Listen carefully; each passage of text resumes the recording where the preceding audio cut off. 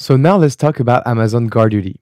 GuardDuty helps you do intelligent threat discovery to protect your AWS accounts. How does it do it? Well, it has a machine learning algorithm, performs anomaly detection, and uses third-party data to find these threats. So to enable it, it's just one click, then you have a 30 days trial. You don't need to install any software. So GuardDuty is going to look at a lot of input data, such as your CloudTrail event logs to look for unusual API calls or unauthorized deployments.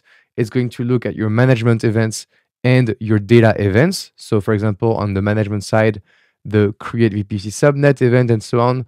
Whereas on the S3 data events, for example, get object, list objects, delete objects, and so on. And then for VPC flow logs, is going to look at unusual internet traffic, is going to look at unusual IP addresses. DNS logs to look at EC2 instances sending encoded data within DNS queries, which would mean they're compromised.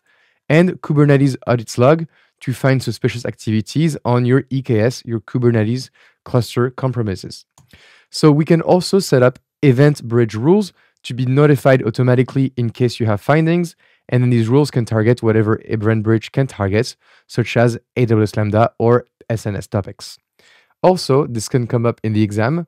GuardDuty is a very good tool to protect you against cryptocurrency attacks because there is a dedicated finding for it. So it knows how to analyze all these input data and find that there is a cryptocurrency attack. So to summarize, we have input data such as VPC flow logs, CloudTrail logs, DNS logs, and the EKS audit logs that will go into GuardDuty and will generate findings automatically. These findings can trigger automatically EventBridge events, which, thanks to rules, can end up in Lambda and SNS. So that's it for this lecture. I hope you liked it, and I will see you in the next lecture.